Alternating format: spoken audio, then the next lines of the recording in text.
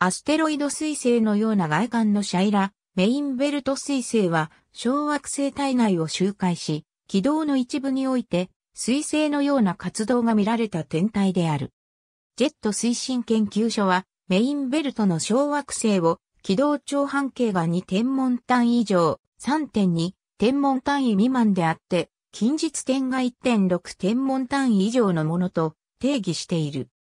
カリフォルニア大学ロサンゼルス校のデビッド・シー・ジュイットは、これらの天体は、水星での氷の消化ではなく小惑星のゴミの動きである可能性が高いと指摘し、アクティブ、アステロイズと呼ぶようになった。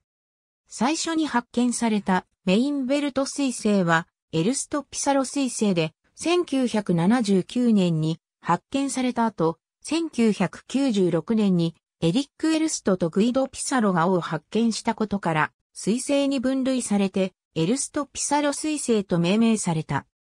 ハッブル宇宙望遠鏡で観測された崩壊する小惑星 P2013R3 太陽からの距離が木星やそれより遠くで多くの時間を費やす軌道となる彗星とは異なり、メインベルト彗星はほぼ円軌道をたどるため、小惑星帯の多くの標準的な小惑星と区別がつかない。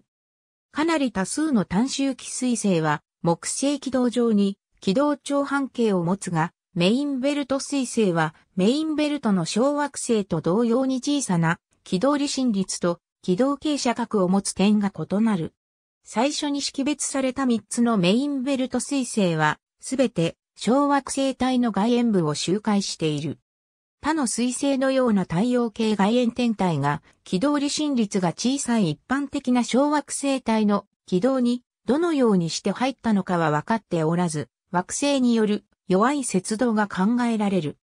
したがって他の水星とは異なり、メインベルト水星は現在の位置に近い太陽系内縁部で形成された単に氷でできた小惑星と仮定され、このような天体が他にも存在している可能性が高いとされる。いくつかのメインベルト彗星は、近日点付近の軌道の一部で、彗星のようなゴミのを見せる。エルストピサロ彗星の活動は繰り返されていることが、直近3回の近日点で観測されている。活動は5年から6年の軌道で1ヶ月から数ヶ月持続しており、おそらく100年から1000年前の弱い衝撃により、氷の覆いが取られたことによる。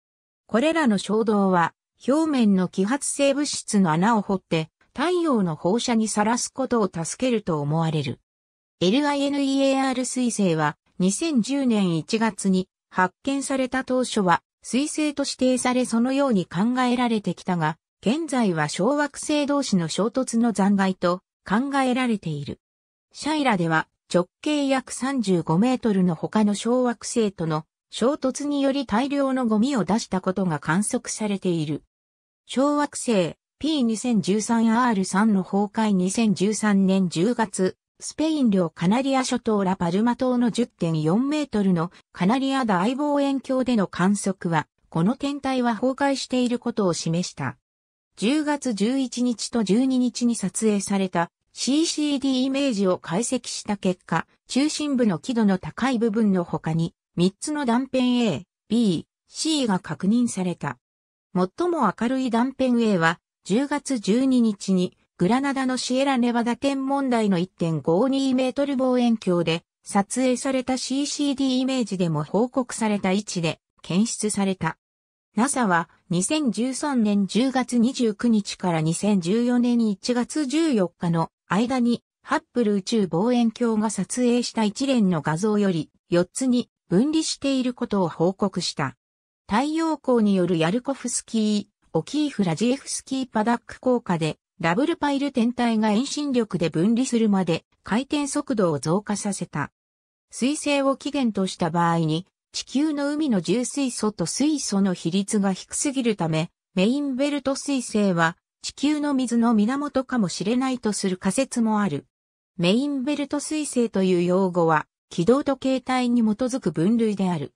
これらの天体は、水星のように核を取り囲む物質が揮発、消化したことを示唆しない。メインベルト水星に分類された天体は、以下の通りである。ありがとうございます。